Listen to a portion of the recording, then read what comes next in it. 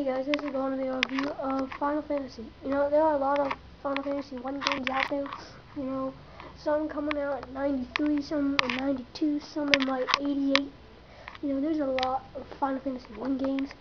You know, I probably like the one on Sony PlayStation, which I believe was released, the game itself was released in 92, which is actually after Final Fantasy 1. And I think it was released around the time of Final Fantasy 3. Now the game itself is probably my favorite Final Fantasy game. Well, close. Or like second or third favorite. You know, it's just got the storyline's not that good. You know, it doesn't have that many bosses. Maybe like five bosses or so. Still a really, really fun Final Fantasy game, and I recommend it a lot if you have an original PlayStation.